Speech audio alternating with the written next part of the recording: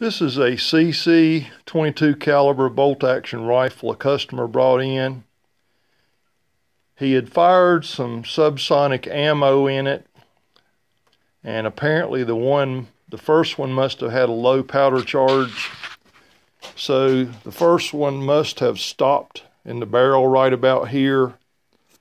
And then he fired several more rounds on top of it. So between this piece of blue tape and this piece of blue tape, we've got several bullets in here. I was not able to drive it out with a brass rod.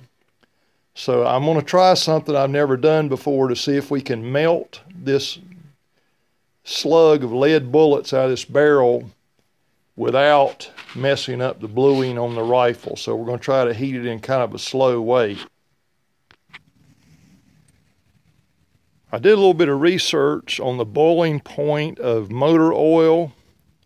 And so my plan is I'm going to fill this container up with motor oil and then stick the barrel of the rifle down in it and heat it up.